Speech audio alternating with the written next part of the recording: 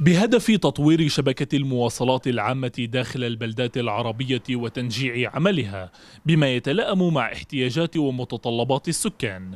عقدت جمعية سيكوي لقاء جمع بين مسؤولي المواصلات العامة داخل البلدات العربية وممثلين عن وزارة المواصلات. هذا اللقاء آه، هو منتدى اللي راح يقوم آه، بعقد جلسات بشكل دوري من أجل متابعة تقديم المواصلات العامة في البلدات العربية واقتراح حلول فعالة وناجعة تتلائم مع الوضع القائم في البلدات العربية لتقديم المواصلات في داخل البلدات وفي خارجها وللوصول إلى أماكن العمل. صعوبات وتحديات جمة تقف حاجزا وتحول دون إقبال المواطن العربي على استخدام المواصلات العامة.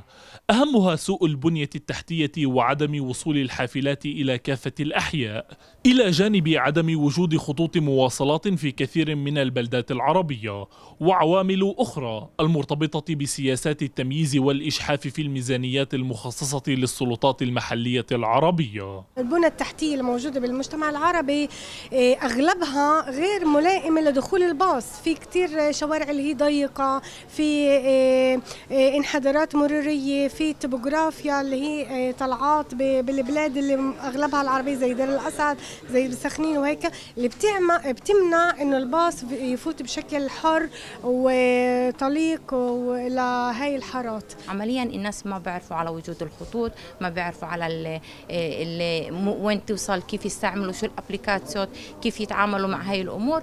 وهي شيء أساسي لازم الوزارات تكرس ميزانيات خاصة لهي المواضيع. وتشير الأبحاث إلى أن ثلث مدخول العائلة العربية ينفق على المواصلات التي تعاني أصلا من تدني مستوى الدخل لديها مقارنة بالعائلة اليهودية.